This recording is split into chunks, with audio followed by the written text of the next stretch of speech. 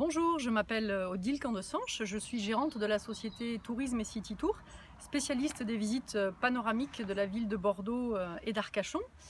Euh, j'ai utilisé à plusieurs reprises les services de la Chambre de commerce, euh, avec notamment les ateliers concernant le numérique. mon assistante commerciale a en effet participé à plusieurs ateliers, notamment concernant les réseaux sociaux, mais également les sites internet le référencement des sites internet. Et ça, vraiment, ça nous a vraiment permis d'avoir une vision globale euh, du sujet et ça a été très très bénéfique.